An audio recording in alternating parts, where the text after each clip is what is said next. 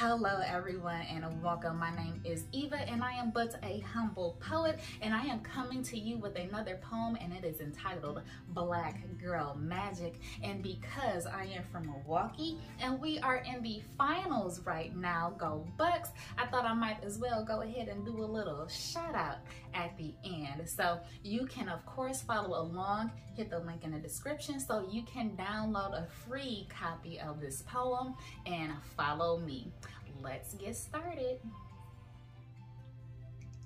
You might just have to do a magic trick like David Blaine. You might have to prove you go as hard as you claim. You might have to spit a hot rhyme like Lil Wayne. Or maybe one like a baby, put some respect on his name. You might have to hit a grand slam like you Serena. Then go and kiss your baby. She's so sweet, I know you seen it. You might have to go and hit the gym like you Michelle. Or go and write a book, you got a story to tell. You might have to do a magic trick like Copperfield. Cause you turn into a hustler when it's time to pay the bills. So you might have to go and play that cookie like Taraji, cause you got goals and dreams and things and hobbies. Like you might have to go and play them keys like Alicia, then go and kiss your man, Swizz Beatz. I know you seen them, you might be coming up, but you started from the hood. Like me, I'm from Milwaukee, I say Bucks was good.